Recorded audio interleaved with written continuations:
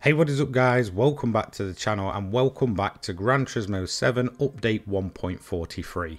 Now in today's video I'm going to give you a money build for the Lancer Evo 9 which came along with this update. It's very heavily influenced from my Mitsubishi Lancer Evolution 3 build which came out last year and that car went on to win my post-launch car of the year for 2023. So taking heavily influence from that one, one of my overall favourite builds in the entirety of GT7, let's see how the Evo 9 handles it. Now to begin with, we're going to head into the prices. This is a rare occasion where there's actually a car that's able to be bought in two different places, both in the used car dealership as well as Brand Central. There's not really much in it whether you go for the used or the brand new. I would personally gravitate towards the brand new one just because you get an absolutely clean slate with the vehicle and it is all about putting your own miles on. So 92k from the used, 100k from the brand central. In terms of the PP rating, it sits at a rather low 506.66. 277 brake horsepower, four wheel drive, so absolutely perfect for the drive out of corners, turbocharged and a little bit weighty at 1420 kilograms. However, we are going to transform this car completely. First up is going to be the wide body modification. Ensure you've got this installed. Now, I don't know if it makes an overall difference, but it's just my personal preference. I like the way it looks. In terms of the wheels though, again, completely personal preference, so put your own wheels on, whatever you want, it doesn't really matter. For the size, I've just gone to size up just for, again, more aesthetic purposes, but then it's going to be rim width wide and offset wide. Again, it does affect the PP rating. Next up is the custom part, so I've gone for a front type B bumper. On the sides, I've again gone for type B and then onto the rear again is type B and then onto the wing is going to be a type A. Again allows a bit more adjustments in terms of the aero. We also have a roll cage type C installed. Once again these do typically affect the PP rating. In terms of tyres it's racing hards, fully customizable. Suspension is going to be set to 100 at the front, 115 rear, 5 anti-roll bar front and 8 rear. Compression is 40 across, expansion 50 across, natural frequency is 3 front and 315 rear negative camber angle is 2.0 for both. Toe angle 0 front and 0.10 inwards at the rear. Fully customizable differential set to 5 across the board. So all three of these categories set to 5. Torque Vectoring center diff, it is complete personal preference. I leave mine at 3565. Fully customizable racing transmission, set it to 270. And then in terms of the manual adjustments, ensure that they match up. First 2554-87, 1727-129, 1298-172, 1.007-222, uh, 223, 0.811-277, 0.670-357, and then final is 4.519. We're going to have 50 ballast on this with a positioning of minus 47, no power restriction, however on the fully customizable ECU, set this to 99.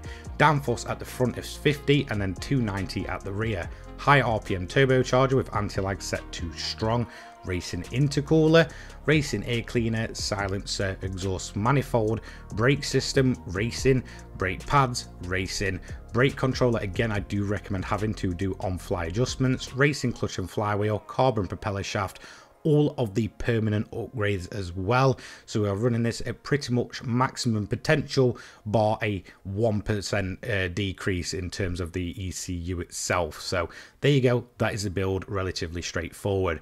In terms of the event itself though, you do want to have your difficulty set to easy. The main reason for this is it's going to allow us to do a stop and wait trick at the end of the event that we're mainly going to be focusing on. So in terms of the event, head over into Europe and Le Mans, go for the middle event, which is the WTC 700, the one with the maximum reward of 550k. Again, once you're in there, just go ahead and enter it. So let's talk about the car itself. Like I mentioned, this takes heavy inspiration from my Lancer Evo 3 build, which I did release in kind of the first half of last year. That ended up being my overall favourite money grinder for the entirety of 2023. I racked up thousands of miles on that thing, always loved driving it and thankfully that build pretty much passes itself over to the Lancer Evo 9 with very minimal adjustments. The only real changes is a set of mediums to hards and also a 1% decrease in the ECU power. Apart from that they are pretty much matching builds and pretty much run entirely the same.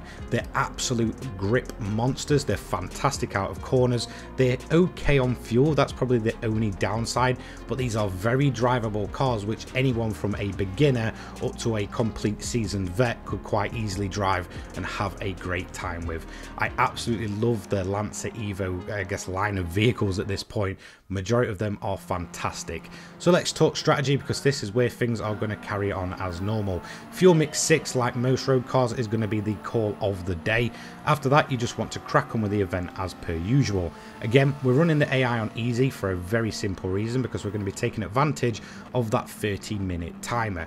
So although a lot of people will tell you, you know, go ahead and do the extra lap and such, most of the time, especially with cars like this that are so, so good in these 700 categories, you will pretty much never run that extra lap. You'll probably get six laps done or seven laps at most and then just stop, wait and let the timer tick down.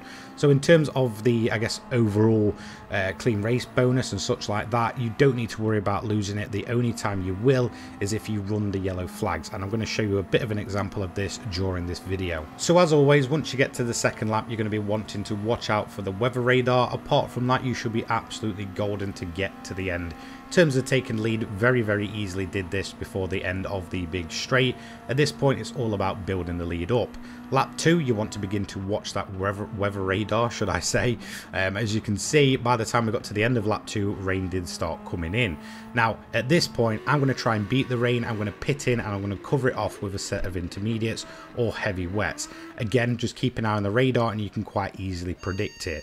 This car, because of its uh, PP rating, can run on the racing hards, the intermediates and the wets. They're the only compound of tyres you're going to need, so just ensure that you've got them.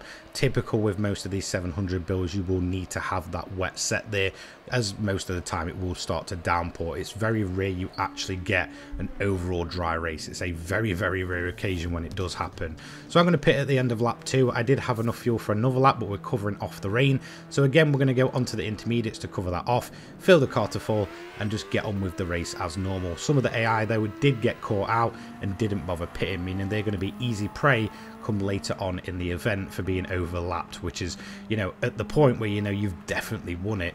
So eventually the rain did leave, as you can see, it's just going off the radar now, but quite quickly another formation of rain did come in, and this one was much heavier, so again, it was all about predicting, and I decided, you know what, it's very, very heavy, heavy wets are definitely going to be the call of the day. So at this point, again, I'm kind of pitting in rather quite early, although I'm on the intermediates and such, I'm just going to get myself boxed in, get some fuel in the car, get the heavy wets on to cover off the very, very wet track and ensure that I've got the maximum amount of grip possible. As you can see here, the AI did get caught out. A lot of them didn't pit during the first batch of rain. At that point, they were just absolutely sitting ducks, as you can see. A lot of yellow flags out as well, so if you do see that, just be very mindful not to be kind of overtaking or catching the AI out there because there is a high chance that the game will just penalise you and that clean race bonus is gone. That is the only way to lose it.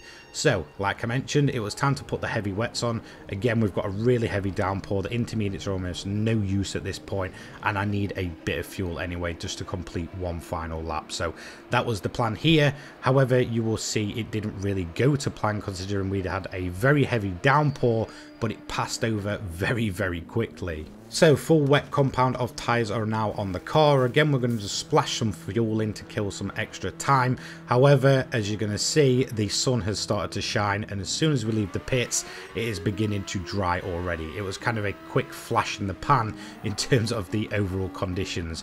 So we eventually got around to finishing up lap 6. We've got a decent gap of over 3 minutes to the second AI and around about 2.5 minutes on the timer. At this point, we're just going to sit at the edge of the line, stop and wait. This is why I reckon recommend the easy difficulty because again, it's all about earning money. It's not about how hard you're going to be uh, in terms of beating the AI. As soon as it ticks down, cross the line, and that is it. Job done. So overall, the Lancer Evo 9 is fantastic and carries on like most of the Lancer Evolution line, where they are absolutely brilliant for that 700 PP range of grinding. Again, there is other events you can use, like the one uh, over at Bathurst as well, which I do find very good and a nice slight change from Le Mans. So if you want to use it there, you can do it as well as all the other 700 events. In terms of completion times, 30 minutes, 1 second, 0.215. Obviously, six laps completed with a 7 minute final lap. Unfortunately, due to the rain, I couldn't really kind of gauge the one lap pace. So here it's saying the fastest was a 425.142. But again, that's just way off due to the wet weather and such. So we're not getting a proper true look at its one lap potential, but it's probably going to be in those low 4 minute range. So overall, in terms of the payout itself, this is the bit you guys are going to want to know. It's going to be the typical 800k plus per every 30 minutes.